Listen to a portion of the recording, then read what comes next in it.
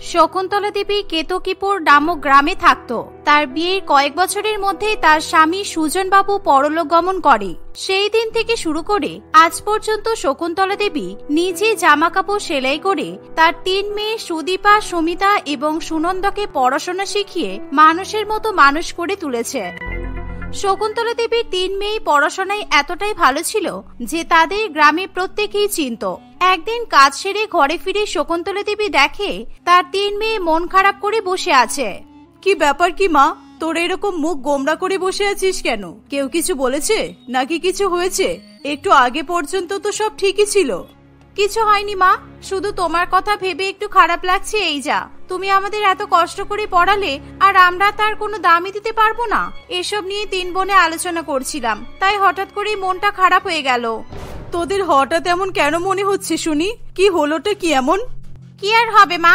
আমরা এত কষ্ট করে পড়াশোনা করলাম। তুমি এভাবে দিনরাত এক করে নিজের মাথার ঘাম পায়ে ফেলে আমাদের পড়াশোনা শেখালে সমস্ত রকম পরীক্ষায় আমরা ভালো নম্বরও পেলাম। কিন্তু কিন্তু কি? তোর এরকম অর্ধেক অর্ধেক করে কথা বলিস কেন? একেবারে পুরো কথাটা বলতে কি অসুবিধা হচ্ছে? ভালো হোক, মন্দ হোক, আমাকে তো জানতেই হবে। তোরা কি ভাবছিস, কি না ভাবছিস?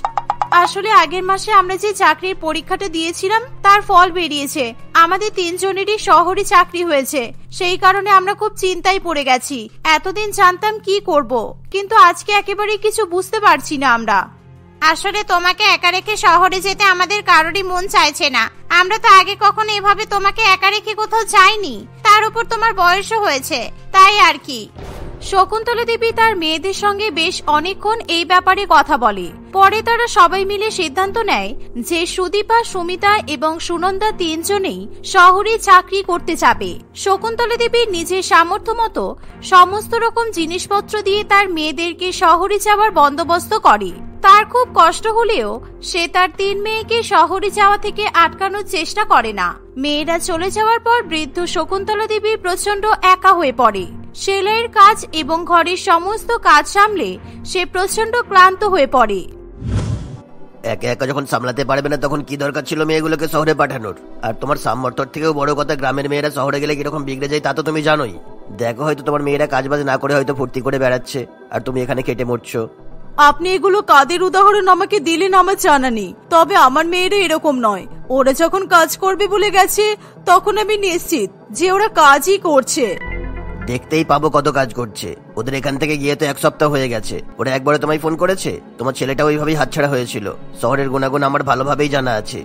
এই কথা শুনে শকুন্তলা দেবী প্রচণ্ড ভয় পেয়ে যায়। এই কথা সত্যিই ছিল যে শহরে যাওয়ার পর থেকে তার মেয়েরা তাকে একবারও ফোন করেনি। শকুন্তলা দেবী জানেই না তার মেয়েরা কোথায় আছে এবং কি করছে। একদিকে মেয়েদের চিন্তায় তার রাতের ঘুম উড়ে যায়। অন্যদিকে গ্রামের এবং মায়ের বাঁধন ছাড়িয়ে আসতে পেরে সুদীপা, সুমিতা ও সুনন্দা তিনজনেই প্রচণ্ড আনন্দে দিন কাটাতে থাকে। গ্রামের ঘ্যান ঘ্যানানি প্যানপ্যানানি থেকে শহরের এই গাড়ি ঘোড়ার আওয়াজ আর সারাদিন মানুষজনের চিৎকার অনেক বেশি ভালো।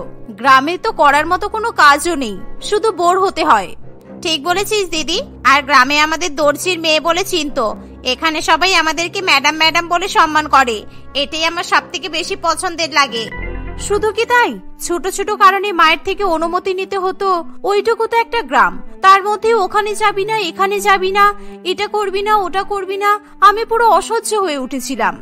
চাকরি পেয়ে গেছি, এটা বলার প্ল্যানটা কেমন ছিল বল? আমি যদি মাকে বলতাম আমরা চাকরি খুঁজতে শহরে যাচ্ছি, তাহলে মা কিছুতেই রাজি হতো না। ওই জন্যই একেবারে চাকরি পেয়ে গেছি বলেছি। মা যা বোকা, তাতে মা খোঁজও নেয়নি, আমরা কোথায় কি কাজ পেয়েছি। কিন্তু আজ না কাল হলেও মাকে তো আমাদের মাহিনা থেকে কিছুটা টাকা পাঠাতেই হবে। আমরা যদি এর মধ্যে চাকরি না পাই, তাহলে পাঠাবো কীভাবে? আরে, আমার কাছে সব প্ল্যান আছে। কয়েকদিনের মধ্যেই আমাদের খুব টাকার দরকার এই বলে মায়ের কাছ থেকে বেশ কিছু টাকা চেয়ে নেব। কিছু টাকা দিয়ে ঘুরবো, ফিরবো, খাব, আর বাকি টাকা মাকে আবার পাঠিয়ে দেব। এই বলে যে আমাদের প্রথম মাহিনা থেকে তোমাকে কিছুটা টাকা পাঠালাম। মাও খুশি আর আমরাও খুশি।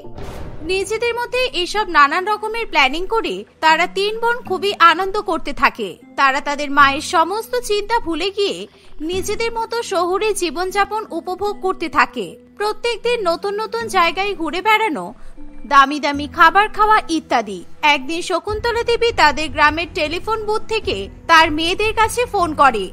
ফোন করেছ, ভালোই হয়েছে। পরের সপ্তাহের মধ্যে একটু দশ হাজার টাকা পাঠিয়ে দিও তো, মা। আসলে যারা যারা অফিসে নতুন জয়েন করেছে, তাদের প্রত্যেককে অফিসের এমপ্লয়ি কার্ড বানাতে হবে। তার জন্য সাড়ে তিন হাজার টাকা করে লাগবে। পাঠিয়ে দিও, ঠিক আছে? এখন আমি যাচ্ছি। বস ডাকছে। কষ্ট করে এই ফোন বুথে হেঁটে হেঁটে এলাম একটু কথা বলতে। আর তুই কথা না বলেই ফোন রেখে দিবি? হ্যালো সুদীপা? যা ফোনটা কেটে গেল। কেটে যায়নি, কেটে দিয়েছে। আমি জানতাম এরকমই হবে। এই ফোন বুথ কি আমার আজকের? কত ছেলে মেয়েদের এইভাবে পাল্টে যেতে দেখলাম, কত মা বাবাদের এইভাবে মন খারাপ করে ফিরে যেতে দেখলাম। রবিন বাবুর কথা শুনে শকুন্তলা দেবীর খুবই কষ্ট হয়। আরও কষ্ট হয় এই ভেবে তার বড় মেয়ে ফোন তুলে তার কোনো খবর না জেনে শুধুমাত্র টাকার কথাই বলে। তবে সেটা সে কারোর সামনে জাহির করতে পারে না। সেদিন সুদীপার সাথে তার মায়ের বেশি কথা বলাও সম্ভব হয় না। সুদীপা, সুমিতা এবং সুনন্দা মায়ের কথা বলে ফুর্তিতে মশগুল হয়ে ওঠে। অন্যদিকে মেয়েদের প্রয়োজন মেটাবে বলে শকুন্তলা দেবী এই বৃদ্ধ বয়সেও দিনরাত এক করে জামা কাপড় সেলাই করতে থাকে। যাতে সময়ের মধ্যে সে তার মেয়েদেরকে টাকাটা পাঠাতে পারে। শকুন্তলা দেবী সময় মতো টাকা পাঠিয়ে দিলেও তার মেয়েরা একটা ধন্যবাদ জানাতেও তাকে ফোন করে না। বাধ্য হয়ে শকুন্তলা দেবী আবার নিজেই তার মেয়েদেরকে ফোন করে। কি ব্যাপার রে সুদীপা?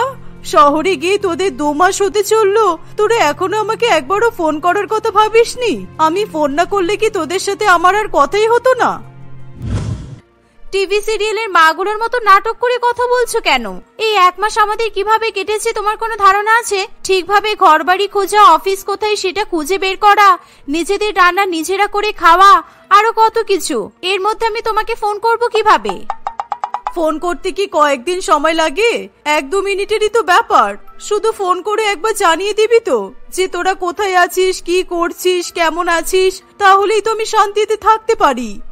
তারা ফোনে কথা বলছে এমন সময় সুমিতা কিছু না জেনে চিৎকার করে করে সুদীপার সাথে কথা বলতে আসে। এই দিদি, এতক্ষণ ধরে কোথায় ফোন করছিস? তাড়াতাড়ি চল, প্রিয়াংশু মদ আর খাবার নিয়ে চলে এসেছে। কখন থেকে ফোনেই লেগে আছিস? এভাবে পার্টি করে মজা হয়? ফোনটা রেখে তাড়াতাড়ি চল। সুমিতার গলার শব্দে শকুন্তলা দেবী আকাশ থেকে পড়ে। ওটা সুমিতার গলা না? ও ও কি বলল? তোরা শহরে গিয়ে মদ খাওয়া শুরু করেছিস? কি চলছে কি ওখানে? এসবের জন্য আমি তোদেরকে শহরে পাঠিয়েছিলাম। না মা ওটা সুমিতা নয়। আমি অফিস থেকে বাইরে বেরিয়ে তোমার সাথে কথা বলছি। রাস্তায় এটা একটা মেয়ে অন্য আরেকজনকে বলেছে। তোমার যদি আমাদের প্রতি বিশ্বাস না হয় তুমি এসে নিজে দেখে যেতে পারো। অযথা ফোনের ওপর থেকে এভাবে আমাদের উপর সন্দেহ করবে না। এই বলে সুদীপা ফোনটা কেটে দেয়। যে মেয়েদের নিজের গর্ভে ধারণ করে এতগুলো বছর মানুষ করলাম, সেই মেয়েরাই কীভাবে আমাকে মিথ্যা কথা বলছে? সেই মেয়েরা ভাবছে আমি তাদের গলা চিনতে পারব না। যেভাবেই হোক, আমাকে শহরে যেতেই হবে। একটু সাহায্য করতে পারবেন রমেন দাদা? আপনার যত টাকা লাগে আমি দেব। দরকার হলে আমার সেলাই মেশিনটাও আপনি নিয়ে নিন। তোমার সেলাই মেশিন আমার লাগবে না ওটা তোমার কাছেই থাকুক। কিন্তু সমস্যা হচ্ছে ওটা কোথায় থাকে সেটাই তো তুমি জানো না। এত বড় শহরে তুমি ওদের কোথায় খুঁজবে? সে আমি ঠিক খুঁজে নেব। আপনি শুধু আমাকে একটু শহরের ট্রেনে তুলে দেওয়ার ব্যবস্থা করুন। আমি ওসব ট্রেনের সিট দেখে ঠিকঠাক করে বসতে পারব না। আমাকে ট্রেনে দিয়ে আসলেই আমি চলে যেতে পারব।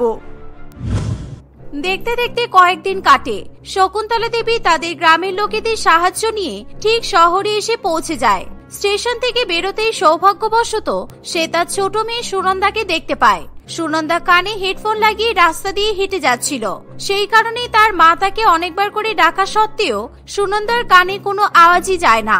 সুনন্দার পিছু নিয়ে শকুন্তলা দেবী, তার মেয়েরা যেখানে থাকে সেই জায়গায় চলে আসে। সেখানে এসে শকুন্তলা দেবী তার মেয়েদেরকে ছোট ছোট জামা কাপড় পরে থাকতে দেখে খুবই অবাক হয়।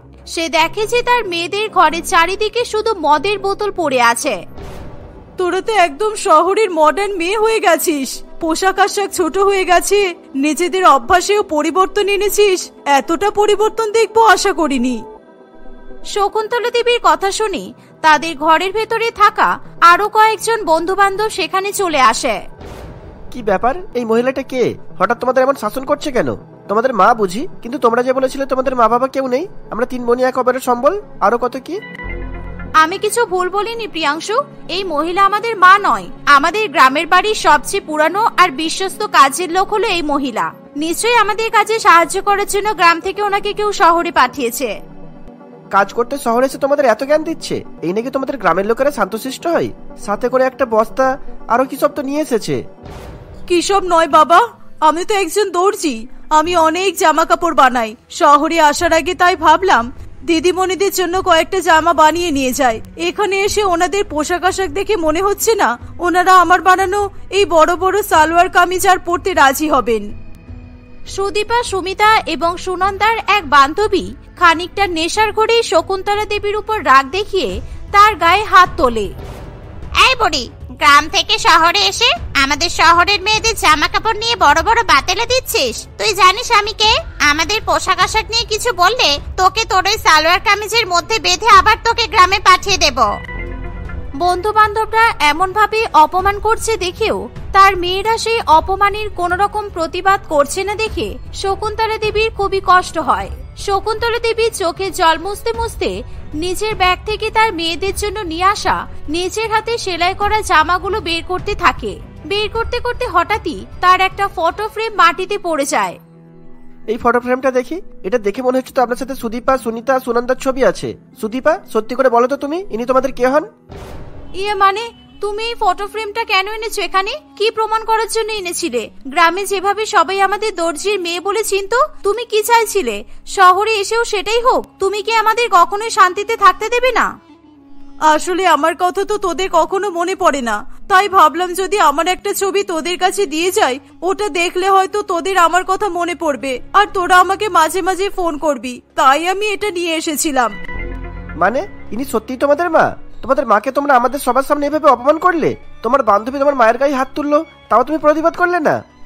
তুমি আমাদের ভুল ভাবছ। আমরা পিঙ্কিকে পরে বুঝিয়ে বলতাম। আমি তোমাদের সাথে আর কোনো রকমের কথা বলতে চাই না। যারা নিজের মায়ের আপন হয় না নিজের মাকে সম্মান করে না আমি তাদের বন্ধু বলে ভাবতেও পারি না। ছি ছি সুদীপা ছি। এই চল তোরা।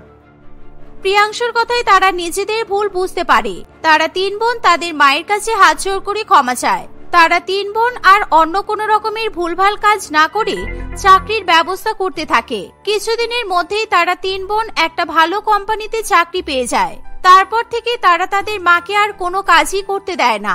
শকুন্তলা দেবী এবং তার তিন মেয়ে সুখে শান্তিতে শহরেই জীবনযাপন করতে থাকে। মানসী তার স্বামী রতনের সঙ্গে বাস করে। মানসী বাজারে সবজি বিক্রি করে কোনো মতে নিজেদের জীবন ধারণ করে। কিন্তু বর্তমানে সবজির দাম বেড়ে যাওয়ায় সে ভীষণ পরিমাণে চিন্তায় পড়ে। কারণ মানুষই ভালো করেই জানে, বর্ষার মধ্যে সবজির দাম বাড়লে বিক্রি অনেক পরিমাণে কমে যায়। মানুষই মহাজনের কাছ থেকে কোনো মতে বেশি দামে সবজি কিনে বাড়িতে নিয়ে আসে। আজকে রাতে ভারী বর্ষণের সম্ভাবনা আছে। সবজিগুলো খুব সাবধানে রাখতে হবে। না হলে বৃষ্টি পড়লেই সব সবজি নষ্ট হয়ে যাবে। রতন বারান্দায় আমি সবজি রেখেছি। কাপড় চাপা দিয়ে দিয়েছি। তুমি খেয়াল রেখো তো। আমার বন্ধুরা তাস খেলতে আসবে রাত্রেবেলা। আমি বারান্দায় বসে তাস খেলব। আমি তো তোমার সবজির খেয়াল রাখতে পারব না বুঝেছ? আমি আমার বন্ধুদের সাথে বসে মদ খাব নাকি তোমার সবজি দেখব? এই বলে রতন বারান্দায় চলে যায়। মানুষই বৃষ্টির ভয়ে নিজের বারান্দায় বসে সবজির খেয়াল রাখতে শুরু করে। কিন্তু বৃষ্টি নামার আগেই সারাদিনের অতিরিক্ত ক্লান্তিতে মানুষের চোখে ঘুম নেমে আসে। তাই সে বারান্দায় বসে বসে ঘুমিয়ে পড়ে। দেখতে দেখতে প্রায় বেশ কিছুক্ষণ কাটে। হঠাৎ করে ভারী বর্ষণ নেমে আসে। কিন্তু মানুষের ঘুম কিছুতেই ভাঙতে চায় না। রতন তার বন্ধুদের সঙ্গে বসে তাস খেলে এবং মদ্যপান করতে থাকে। এভাবেই সারা রাত কাটে। সকালে মোরগের আওয়াজে মানুষের ঘুম ভাঙে। ঘুম থেকে উঠে দেখে সব সবজি ওলট পালট হয়ে পড়ে আছে আর বৃষ্টির জলে সবটাই ভিজে গেছে। এ কি, আমার সবজিগুলোর এমন দুর্দশা কি করে হলো? আমি বাজারে গিয়ে এবার কি বিক্রি করব? না না, এটা কি করে হলো? আমি তো সবজি চাপা দিয়ে রেখে গিয়েছিলাম। মানসী তার বরের কাছে গিয়ে এমন দুর্ঘটনার কারণ জিজ্ঞাসা করায়, সে তার উপর ভীষণ পরিমাণে খেপে যায়। তোর সবজি দেখার দায়িত্ব তো আমাদের নয়। আর কালকে যখন বৃষ্টিতে আমরা তাস খেলছিলাম, তখন? আসলে কালকে রাতে রতন যখন তার বন্ধুদের সঙ্গে বসে তাস খেলছিল, ঠিক সেই সময় ঝাঁপিয়ে বৃষ্টি নেমে আসে। আর সেই কারণে সে তার বন্ধুদের সঙ্গে মিলে মানসীর কষ্ট করে নিয়ে আসা সবজির উপর থেকে ঢাকা দেওয়া কাপড়টা সরিয়ে নেয়। আর সেই দিয়ে তারা নিজেদের তাস এবং মদের বোতল ঢাকা দেয়। এর ফলে ঝড় বৃষ্টিতে সমস্ত সবজি ওলটপালট হয়ে যায়। এমন কথা শুনে মানুষই বুঝে উঠতে পারে না যে সে কি করবে। সে ভিজে যাওয়া সবজি নিয়ে কোনো রকমে ভ্যানের মধ্যে তুলে নেয়। আজকে আমাকে এই ভেজা সবজি বাজারে নিয়ে গিয়ে বিক্রি করতে হবে। তাছাড়া আমার কাছে আর কোনো বিকল্প পথ নেই। ঈশ্বর যা করেন হয়তো মঙ্গলের জন্যই করেন। এই বলে মানুষই কোন রকমে সবজির গাড়ি চালিয়ে বাজারে নিয়ে যায়। সেই সবজি নিয়ে বাজারে বিক্রি করতে শুরু করে। কিন্তু তার সবজির গাড়িতে ভিজে যাওয়া নষ্ট সবজি দেখে কেউ সেই সবজি কিনতে চায় না। কোন রকমে কিছু লোক মানুষের কাছে সবজি কিনতে আসতে চাইলেও কি গো দিদি এই টমেটো কত টাকা করে বিক্রি করছ? আর আলু আর লঙ্কা কত করে কেজি? সবজির দাম যে আজকাল বেড়েছে কোনো সবজিতেই তো হাত লাগানো যাচ্ছে না। টমেটো একশো টাকা কেজি দাদা আর আলু পঞ্চাশ টাকা লঙ্কা আশি টাকা। আপনি সবজি নিয়ে যান দেখবেন এমন টাটকা সবজি এর আগে কখনো দেখেননি। কি? তোমার এই ভেজা পচা গলা সবজির এত দাম? আমায় দেখে কি তোমার মুরগি মনে হচ্ছে নাকি? তোমার কাছে ভেজা সবজি আছে থেকে আমি কম দামে কিনতে এলাম, আর অমনি সবজির দাম বাড়িয়ে দিলে আমি এত দামি সবজি নিতে পারব না, বাবা। এই সবজিগুলো পচা নয়, দাদা। বিশ্বাস করুন, সব সবজি ভালো আছে। আপনি একবার কিনে দেখুন, আর এই বৃষ্টির মধ্যে সবজি ভিজে যেতেই পারে। তাই বলে সবজি খারাপ নয়। তুমি আমায় সব সবজি তিন গুণ কম দামে দিয়ে দাও, তাহলে আমি নিয়ে নেব। তা না হলে তোমার এই সবজি কিন্তু এত দামে কেউ নেবে না, তাই ভালোই উপদেশ দিচ্ছি। একেবারে কিছু না পাওয়ার থেকে সামান্য কিছুতে পাওয়া ভালো। মানুষে কি করবে কিছুই বুঝতে না পেরে সব সবজি কম দামে সেই লোকটার কাছে বিক্রি করে দেয়। এর ফলে তার কেনা দাম পর্যন্ত উঠে আসে না। মানুষে ভীষণ পরিমাণে দুশ্চিন্তায় পড়ে। সে দেখে যে বাকি সবজিওয়ালাগুলো পর্যাপ্ত দামে সবজি বিক্রি করছে, কিন্তু একমাত্র তারই লোকসান হয়েছে। এমন ভাবে চলতে থাকলে আমি কি করব? কালকে সকালে মহাজনের কাছ থেকে টাকা ধার নিয়ে আবার সবজি কিনতে হবে। এবার তো মহাজন আমাকে আরও বেশি দামে সবজি বিক্রি করবে। মানুষের নিজের সবজি চাষ করার জমি থাকলেও সেই জমি মহাজনের কাছে টাকার বিনিময়ে চাষ করার অধিকার দিয়ে দেয়। এর ফলে তাকে নিজের জমি সবজি মহাজনের কাছ থেকে সবসময় বেশি দামে কিনতে হয়। তাই সে বাজারে সবজি বিক্রি করেও কোনো অর্থই লাভ করতে পারে না। মানুষই বাড়ি ফিরে আসছে, তখনই তার আরেক সবজিওয়ালি বন্ধুর সঙ্গে দেখা হয়।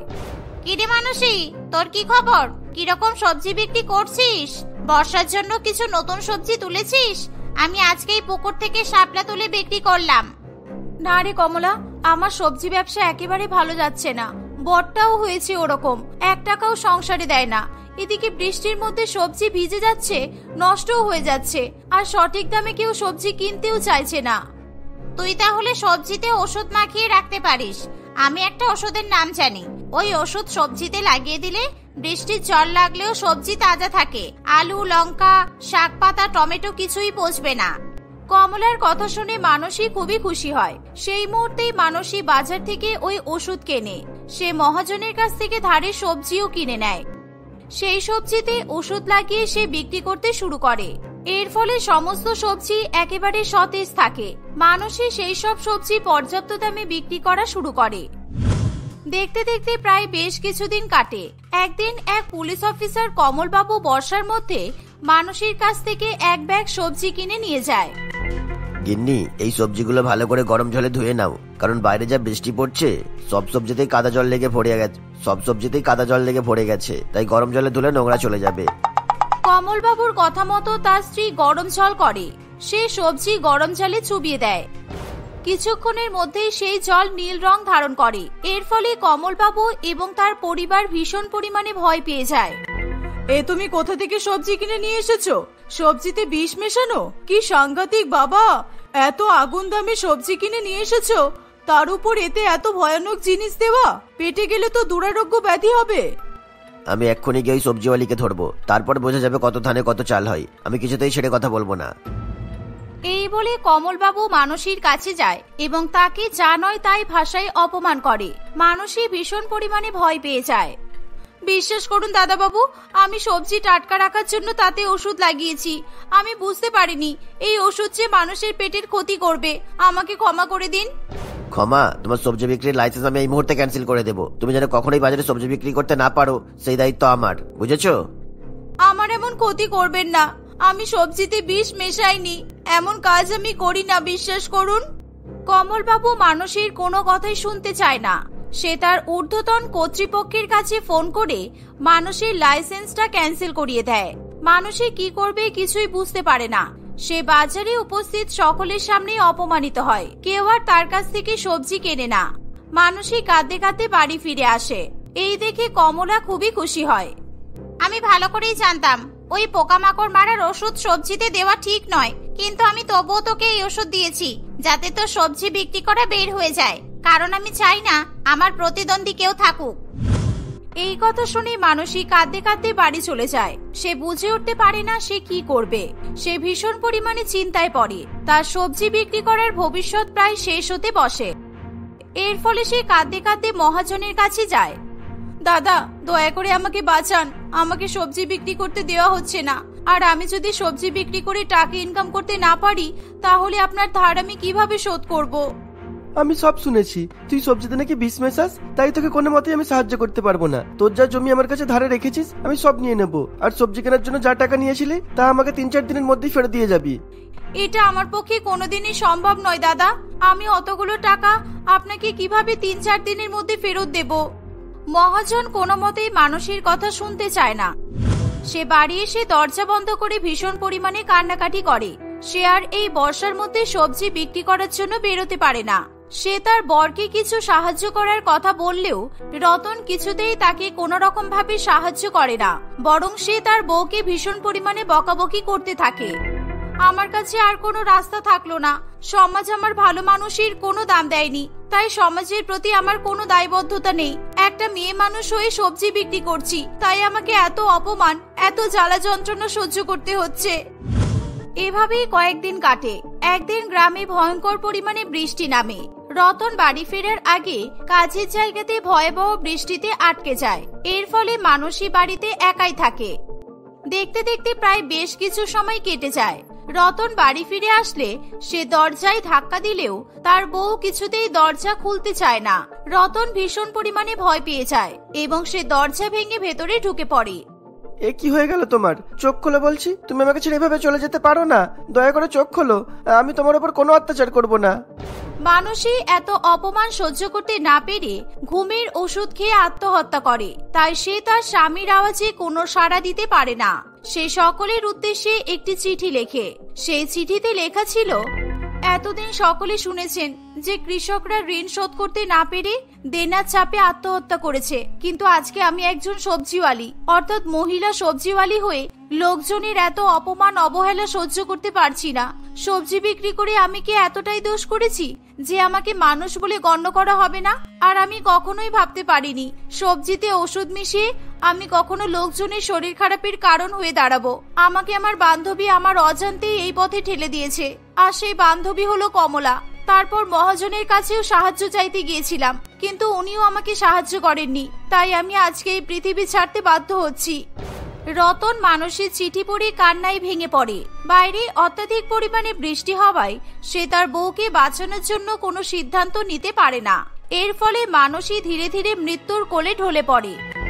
বৃষ্টি কমে এলে রতন কোন রকমে পাড়ার লোকজন জোগাড় করে এবং মানসীকে নিয়ে হাসপাতালে যায়। ডাক্তারবাবু দয়া করে আমার বউকে বাঁচিয়ে নিন। ও আমার চোখের সামনে মরে যাবে এটা আমি হতে দিতে পারি না। ডাক্তারবাবু মানসীর চিকিৎসা করে বলে আই এম সো সরি আপনার বউ দু তিন ঘণ্টা আগে এক্সপায়ার করে গেছে। উনি যে কলের ডোজের ওষুধ খেয়েছেন সেই ওষুধ খেয়ে সাধারণত মানুষরা বেঁচে থাকে না। তাই আমাকে ক্ষমা করে দেবেন আমি আপনার বউকে বাঁচাতে পারলাম না। রতন কিছুতেই এই কথা সহ্য করতে পারে না। সে কান্নায় ভেঙে পড়ে এবং দিশেহারা হয়ে পুলিশ স্টেশনে দৌড়ায়। সে তার বউয়ের লেখা শেষ চিঠি পুলিশকে দিয়ে দেয়।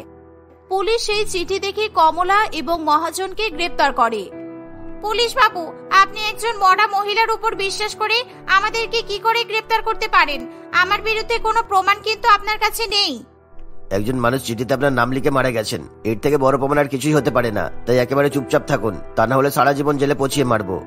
আপনি ওদের সাথে আমাকেও গ্রেপ্তার করে নিন কারণ আমি আমার বউকে কখনো সাহায্য করতে চাইনি। তাই আজকে আমাকে এই সারা পৃথিবীতে একা হয়ে যেতে হলো। আপনি যে একা হয়ে গেলেন এটাই আপনার শাস্তি। রতন কাঁদতে কাঁদতে বাড়ি ফিরে যায়। সে কিছুদিন পরে সবজি বিক্রি করার একটি লাইসেন্স তৈরি করে এবং সেও তার বউয়ের মতো বাজারে সবজি বিক্রি করা শুরু করে।